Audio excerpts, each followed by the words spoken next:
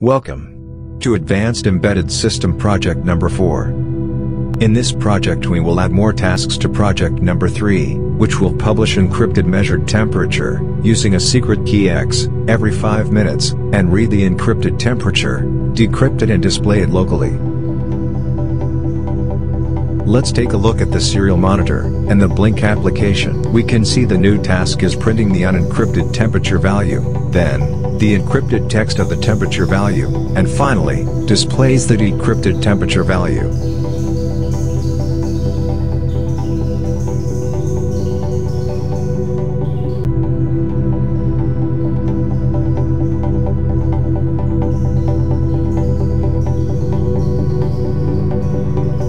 Now, let's take a look at the code. For this project we are using AES encryption.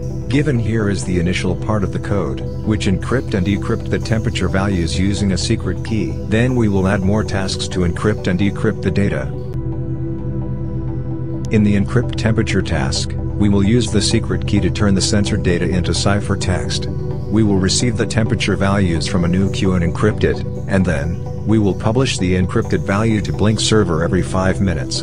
For demonstrating we reduce the time to 10 seconds. Blynk application will automatically log our data, with timestamp. Now, we will retrieve the data from the Blynk virtual pin, and decrypt it.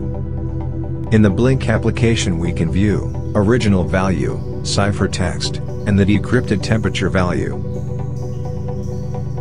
That's all for today's video. Thanks for watching.